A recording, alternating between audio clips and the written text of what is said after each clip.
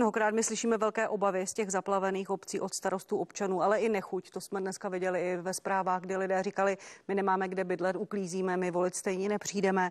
Primátor Opavy píše vládě, chce nouzový stav, chce volby odložit. Nenaložili jste a začnu u vás, pane vicepremiére Jurečko, občanům a samozprávám příliš? My jsme to velmi, velmi zvažovali, jestli ty volby posunout nebo ne. Tu první věc, kterou je potřeba svědomit, aby vůbec mohlo dojít k nějakému posunování voleb, musí být vyhlášen na celém území České republiky stav nouze. Pro ten s velkým respektem k mému domovskému Olomouckému kraji i Moravskoslezskému říkám pro ten na to celoplošné území nemáme dneska ten zásadní důvod, proč bychom to jako vláda mohli udělat. A vzpomeňme na doby covidu, kdy se vedly velké diskuze, zda vláda může dále prodlužovat ten stav nouze, zda ho může vyhlašovat. Je to věc velmi jako ústavně i legislativně citlivá. Pak by teprve musel přijít druhý krok, a to je zákonná změna termínu voleb. U nás opravdu je velmi chráněno to, aby se s uh, termínem voleb nemohlo manipulovat. A my jsme toto všechno zvažovali, tak jsme vyhodnotili i po diskuzi s těmi starosty že s velkou částí těch starostů opravdu mluví napřímo, někteří jsou naši a členové. A čím si teď a, vysvětlujete dopis a, a tu snahu pana primátora Opavy? A, Ta Opava je velmi silně zasažená, on se velmi snaží o to, aby ty volby nebyly, říká, my to nezvládneme. A, a, i v, a i v té Opavě jsme se o tom bavili a třeba Zbigněk Stanura je bývalý primátor Opavy, tak ten i na té vládě mluvil s velkou osobní zkušeností té Opavě, říkal z těch zhruba více jak 50, myslím 52 volebních okrsků, je tento okamžik zásadně problém vyřešit 10 těch volebních okrsků a místa, kde tam se bude dát volit. A to společně s podporou hasičského záchranného sboru jsme schopni vyřešit. To znamená, dneska se bavíme o zasažených zhruba 40 obcích této zemi, kde fakt musíme pomoci těm starostům a jsme na to připraveni, to jsme dneska jasně řekli a ta podpora tady je a je to zhruba 200 volebních okrsků versus celý ten zbytek České republiky. My jsme museli posuzovat to, jaká jsou rizika, když ten krok uděláme, nebo naopak, když ho neuděláme. Takže nakonec jsme se rozhodli i fakt po poradě s ústavními právníky, experty, co potom můžeme zvládnout. Jenom připomínám, že už jednou vláda v minulosti posunula termín vole, byly to senátní volby v Teplicích, a bylo to zhozeno soudem, že na to nebyl důvod. Děkuji. Eh, paní předsedkyně, neznervozňuje vás eh, ta snaha primátora Opavy, ale i ty výroky a vyjádření zaplavených obyvatel. Oni říkají, my stejně nepůjdeme, protože na to nemáme čas. Není to teď eh, to, co je pro nás prioritní a neobáváte se, že až to odezní, tak si budou stěžovat?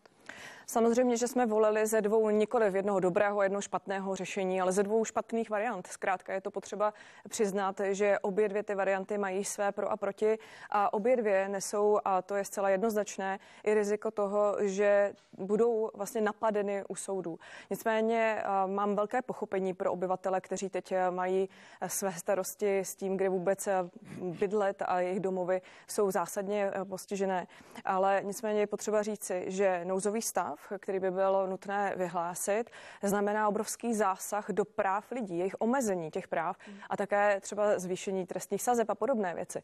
To není eh, žádná jednoduchá záležitost a opravdu eh, jsme dospěli k závěru, že v tomto případě bychom u soudu nemuseli vůbec obstát a naopak řešíme tu technickou záležitost věci. Protože z těch eh, tedy 14 tisíc okrsků, které máme v České republice, je zásadně postiženo zhruba 200 a je tedy důvod eh, určitě, abychom i nad tím přemýšleli a přemýšleli jsme a velmi jsme to zvažovali, ale my řešíme, jak to udělat, aby ti lidé, kteří patří do těchto okrsků, mohli odvolit, aby byly ty volby legitimní a důvěryhodné. A to technicky se pokusíme udělat v maximální možné míře. Pan ministr vnitra to dneska ve sněmovně na schůzi velmi podrobně vysvětloval, ale stejně připravují se vládní strany, vláda na to, že by ty stížnosti mohly přijít právě z té, z té části eh, republiky, ať už od kandidátů nebo voličů, na to, že nemohli uplatnit svoje volební právo, paní předsedkyně? Stejně tak, jako bychom se ve chvíli, kdy bychom naopak rozhodli, že tedy projdeme tím martýriem odsunu termínu voleb, tak by museli být připraveni na to, že přijdou naopak ty stížnosti na to, že jsme tak učinili, rozhodli. A skutečně tady v tom případě, jak říkám, není to volba z jedné dobré a jedné špatné varianty. Je to zkrátka volba ze dvou špatných variant, z nichž jedna byla shledána jako ta trochu méně špatná. Děkuji mnohokrát, pánové z opozičních stran bez vládní odpovědnosti. Vy jste víceméně během toho týdne, kdy se ta debata vede, byli v souladu s vládou. Vyřešila to vláda dobře, i přesto, že teď vidíme snahu primátora Opavy, pane Šlachto. My jsme v pondělí o tom mluvili vlastně eh, i na debatě s tím, že od nás bude mít určitě vláda v tomto podporu, pokud budou samozřejmě vyřešeny věci zejména technického jázu. Trošku odutéka vlastně eh, komunikace pana ministra Hladíka se s hejtmanem, eh, myslím, Moravskoslezského kraje, která byla naprosto úplně zahranou. Teď vlastně vidíme, že, že vlastně primátor Opavy trošku jiný, jiný věci deklaruje, než vlastně nám tady říká pan minister, že vlastně všechno bylo domluvené. Za nás jedno důležité jestli nebude, nebude udělané technicky to, že občan se nebude moci dostat k volební urně a nebude moc odvolit a splnit si svoji, svoji, svoji občanskou povinnost, tak uh, já budu první, který určitě tyto volby napadne, protože si myslím, že to je strašně důležitý vzkaz občanům, že pokud si vláda dala a minister vnitra tvrdí o tom, že to technicky zajistí, tak si zatím musí naprosto stát. Abych tomu rozuměla, vy budete sledovat průběh těch voleb, budete to sledovat asi vzpouzdálí z médií a pokud budete mít pochybnosti, napadnete to? Určitě, určitě, určitě. Pane, pane Juročku. A říkám v kterém případě, pokud občan nebude schopen, nebude schopen technicky odvolit, to nám tady vláda učí a vlastně i tady ústy pana ministra i pana předsedkyně tvrdí, že to zabezpečí. Pane, pane Jurečku, Já k tomu důležitou poznámku. My samozřejmě toto zabezpečíme, to jsme tady zmiňovali včetně toho, že tam musí být prostě zajištěny ty věci z hlediska přenosu dát a tak dále. Na tom pracujeme velmi intenzivně. Ale chci říct důležitou poznámku k té transparentnosti. Volební nebo strany, které kandidují, mají právo nominovat své zástupce do volebních okrskových komisí.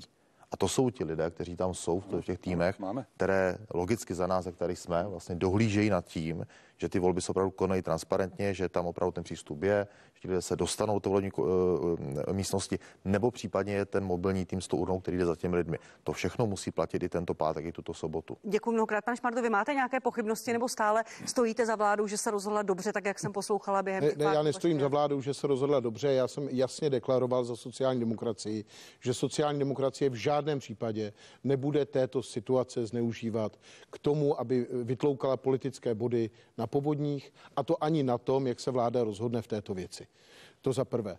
Rozhodně nebudeme následovat ty, kdy jsme viděli, že někteří hejtmané se hádají z ministry, ministři vyčítají starostům, že e, špatně zvládli evakuace a podobně. Prostě to je vytloukání politických bodů, které já naprosto odmítám a považuji ze strany všech těch lidí tady tohle to vzájemné osočování se za nezodpovědné. To Počkejte, za prvé. Promiňte, e, za druhé, mluvíte konkrétně, kdo vytlouká z povodní e, politické Když body? kritizovali právě pana, pana starostu z Opavy, z, z Opavy za to, že on, on zkazil evakuaci a podobně. To bylo velmi nevhodné. Bylo to ze strany politiků, tuším, že to bylo ze strany pana senátora Vlčka a bylo to velmi hloupé a nevhodné. Takže a potom tam byla ty, ty konflikty s panem ministrem Hladíkem. Prostě tohle by mělo skončit, nevytloukat politický kapitál z povodní. To za prvé. Za druhé, co se týče toho rozhodnutí vlády, my ho akceptujeme, respektujeme ho a já přiznávám, že po diskuzi s našimi starosty právě z postižených oblastí a s našimi lidmi, kteří tam žijí a mimo jiné i ze členy okrskových volebních komisí, tak my bychom pravděpodobně se rozhodovali naopak, my bychom se rozhodli pro odložení těch voleb, protože jsme přesvědčeni o tom, že mnoho lidí má úplně jiné starosti, hasiči jsou vyčerpaní, mají toho opravdu hodně, možná i někteří členové okrskových volebních komisí teď prostě nemají myšlenky na to, aby kontrolovali volby. My bychom se rozhodli naopak, Nicméně nebudeme toho zneužívat proto, aby jsme eh, lacině kritizovali vládu dnes. Čili naopak, že byste volby odložili na jiný my termín? Bychom, my bychom eh, v té těžké situaci a v tě, té těžké volbě se pravděpodobně rozhodli pro to opačné řešení. Uh. Říkám to na rovinu, nicméně není to důvod k tomu, aby jsme teď útočili na vládu a kritizovali za to. Děkuju. Za, za to, že rozhodla. Děkuji mnohokrát.